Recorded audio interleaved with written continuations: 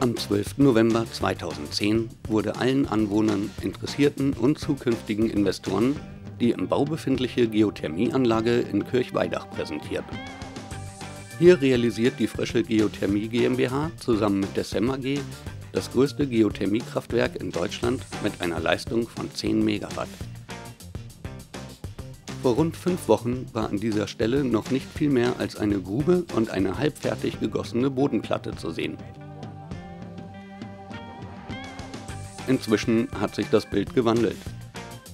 Der 350 Tonnen schwere und 40 Meter hohe Bohrturm wurde aufgebaut und die für die Bohrung notwendigen Logistikarbeiten sind abgeschlossen. Daher erwartet Florian Fritsch, Geschäftsführer der Frösche Geothermie, keine Risiken mehr für den Bohrbetrieb. Also wir haben heute die endgültige Bohrerlaubnis bekommen. Das heißt, das Bergamt hat die Bohranlage abgenommen. Geologisch haben wir auch keins mehr. Durch die härtesten Schichten sind wir schon durch. Die waren die ersten 100 Meter. Aber große Risiken sehe ich jetzt nicht mehr. Eine Anlage, die durch ihre schiere Größe beeindruckt. Erneuerbare Energien sind zeitgemäß und richtungsweisend für die Energieversorgung der Zukunft. Sie schonen Ressourcen und sind klimaneutral. Aber was macht gerade die Geothermie so besonders?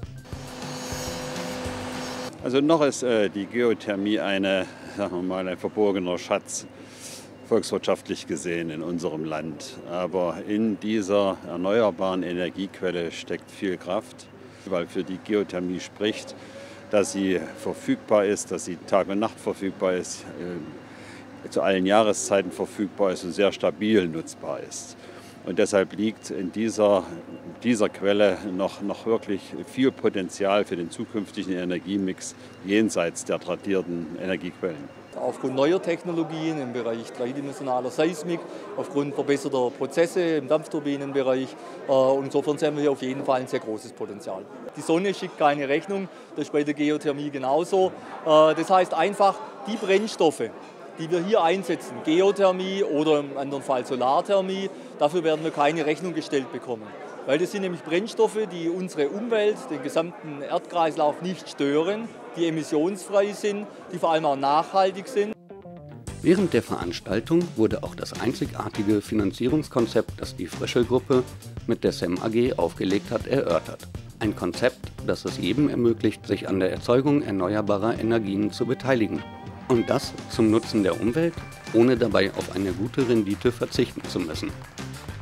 Die Chancen für solche Investments sind äh, generell gut. Wenn man schaut, sind es gerade neben den äh, Immobilienfonds mit deutschen Immobilien Anlageinstrumente aus dem Bereich der erneuerbaren Energien, die bei den Anlegern sehr erfolgreich sind. Es zeigt uns schon, dass wir hier auf dem richtigen Weg sind. Es ist einfach die Zukunft über die wir hier sprechen. Wir hatten es vorhin ja schon mal erwähnt, wir haben eine Energie gewählt, die nicht wetterabhängig ist in der Form. Heute hat es mal geregnet, dann äh, jetzt ist keine Sonne da. Also wir sind unabhängig von diesen ganzen ähm, Vorgaben der Natur.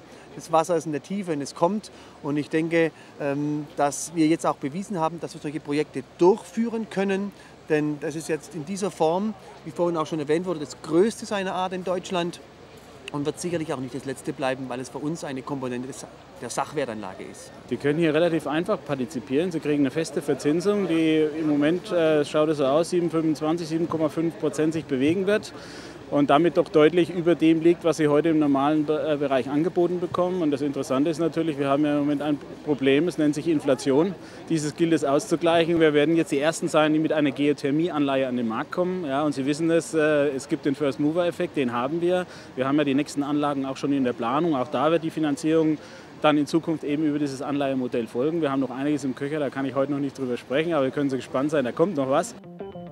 Geothermie, die Kraft die aus der Tiefe kommt.